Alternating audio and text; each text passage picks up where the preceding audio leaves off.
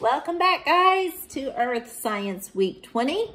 Today we are making a visual of the layers of the geosphere.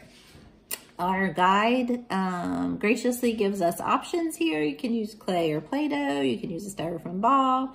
Um, I've done various things like this and last time I believe was, or maybe six years ago, um, made a visual with paper, um, which I really like or prefer just because it allows us to talk about the layers of the atmosphere, which the others don't as much.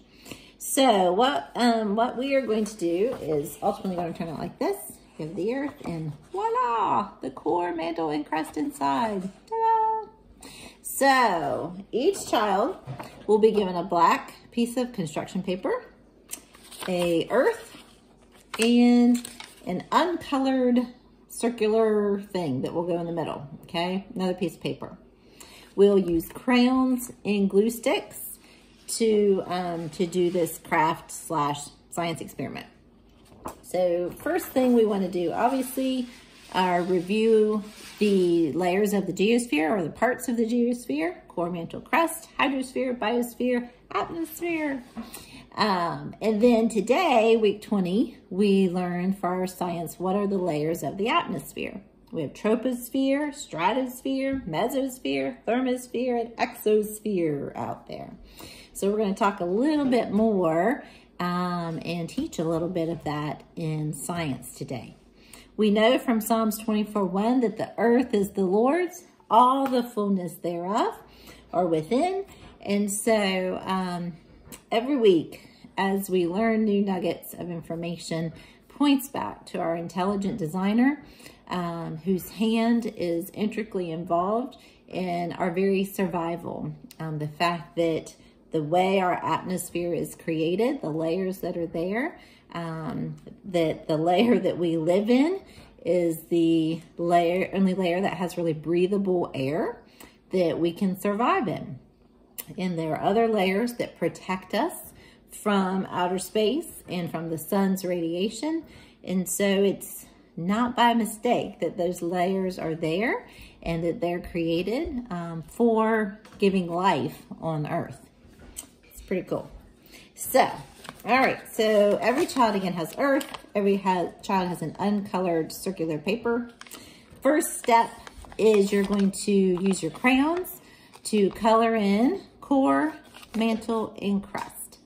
Um, I just used red because it's the hottest. Mantle we know is where our magma dwells. And then crust is where we, it's the earth we stand on. It's the earth under our feet, okay? Step one, everybody colors their core mantle crust. Step two, you're going to fold that in half, okay? For the littles, mamas can help get these pretty equal. You're gonna fold your earth in half. So then you just take your glue stick, glue half of the inner earth to the outside earth like this. So it's like this. And then you're going to put it down on your paper and glue it down like that. So these are glued and then it's glued flat to the paper.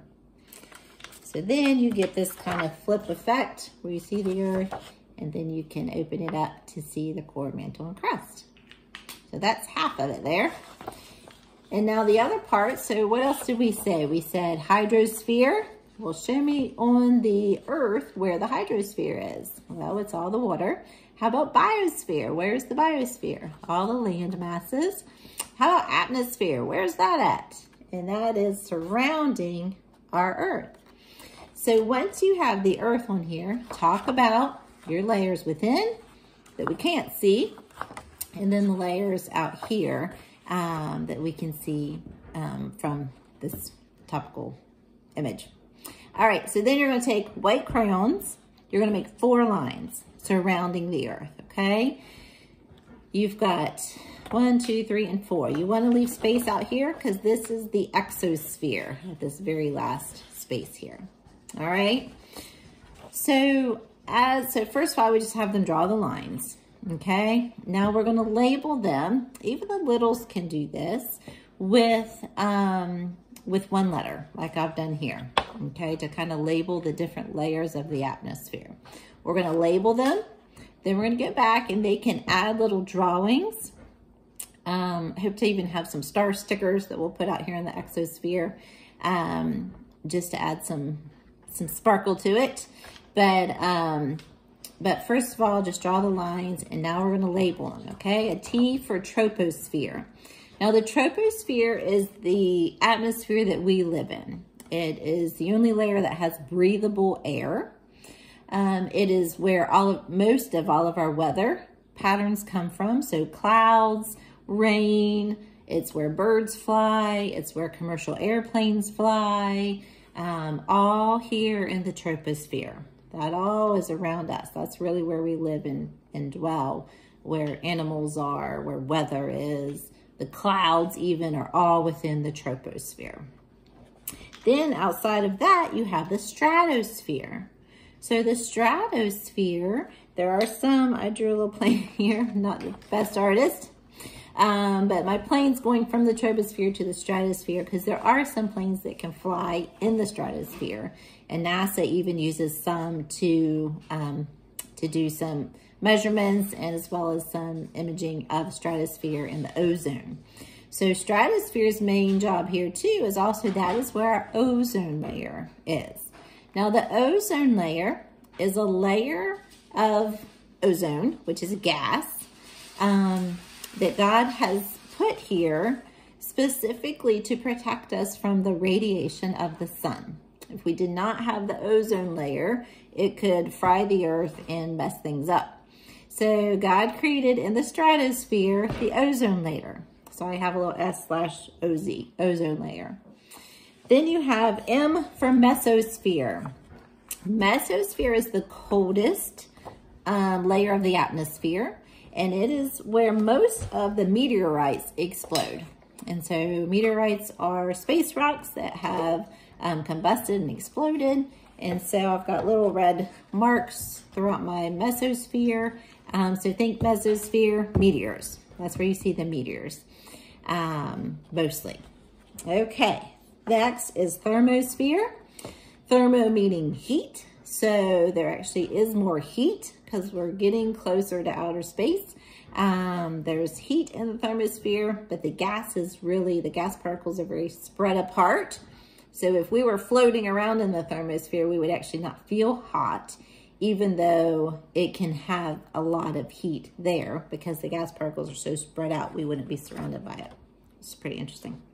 So thermosphere is also where the aurora lights are. So aurora lights are parts of our world, um, not here in South Carolina, but other parts of the world where um, light from the sun um, interacts with gases in the air and creates these beautiful lights. So, um, so I just drew some kind of rainbowish colors going on there. Those are my aurora lights. The thermosphere is also where the International Space System is hanging out. And so that's my little satellite thing up here. Um, and that's on the thermosphere. Then we have the exosphere, which is where there, it is our last layer of atmosphere before we get to outer space.